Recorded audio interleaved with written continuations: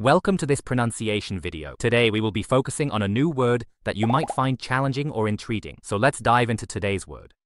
Yaao, which means Hao in Japanese? let's say it all together. Yaao. Yaao. Yaao. One more time. Yaao.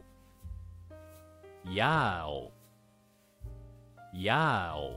Thank you for joining us on this adventure in pronunciation. Remember, language is a journey, not a destination. Keep exploring, experimenting, and expanding your linguistic horizons. We'll see you next time.